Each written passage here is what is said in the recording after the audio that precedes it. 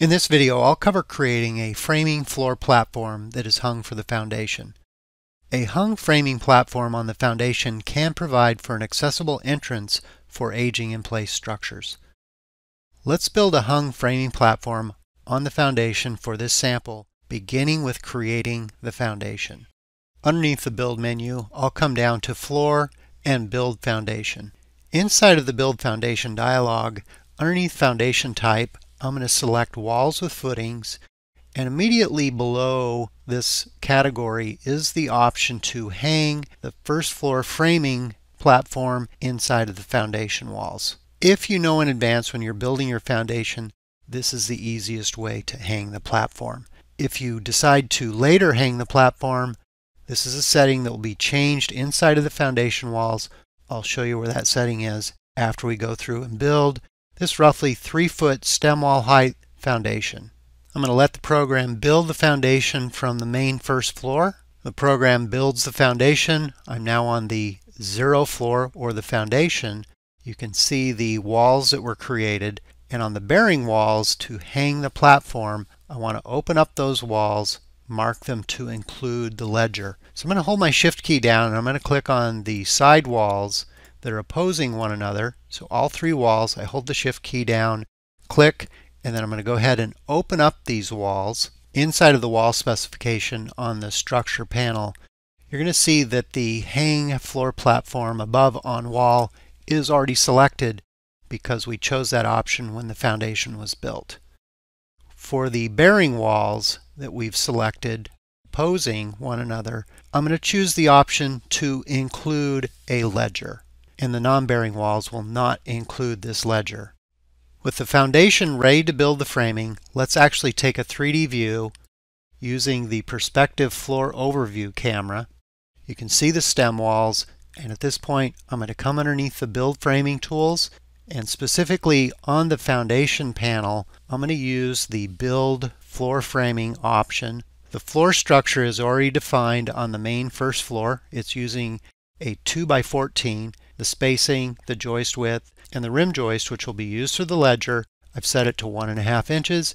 You can choose the style of rim joist that you want to build for that ledger.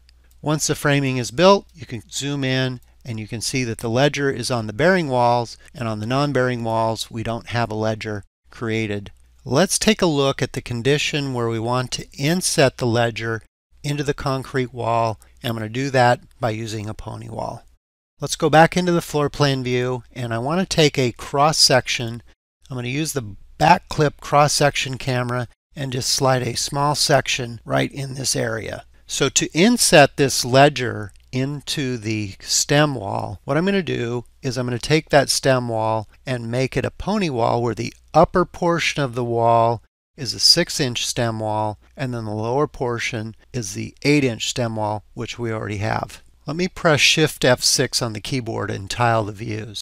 On the wall on the left, let's double click and open it up. When you have two different wall types in Chief Architect, this is known as a pony wall. On the Wall Types panel is the option to mark a wall as the pony wall. The lower portion of the wall I'm going to leave unchanged at an 8 inch stem wall.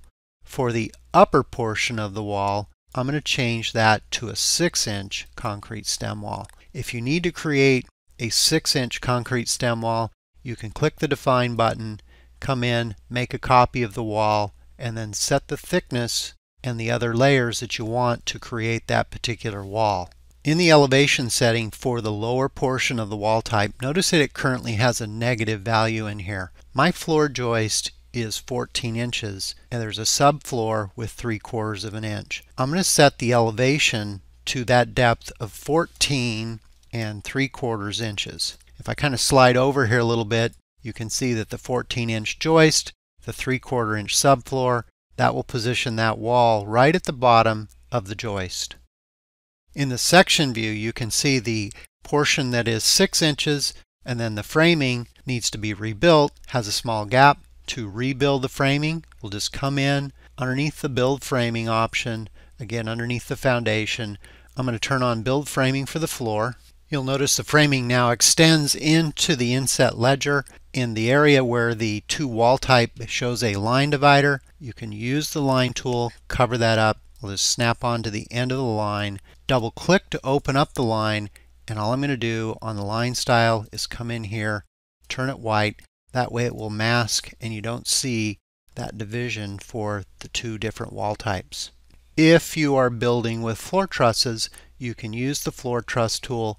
Since the wall is marked to be hung for the platform, the floor trusses will also come in at the right elevation.